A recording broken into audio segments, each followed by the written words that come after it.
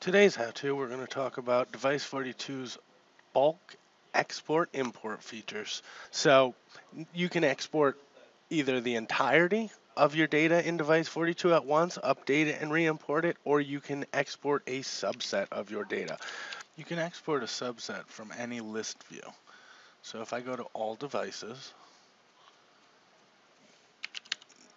narrow the selection down a bit, select the devices I'd like to export, and choose Do a Reimportable Export for selected items. Select Go.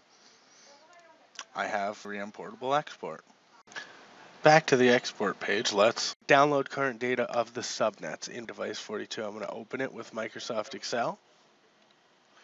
Going to go ahead and make a change. Now whether this was 1 or 100, uh, it would work the same way. So we can copy and paste that and just like you can in Excel, we can change all these at once.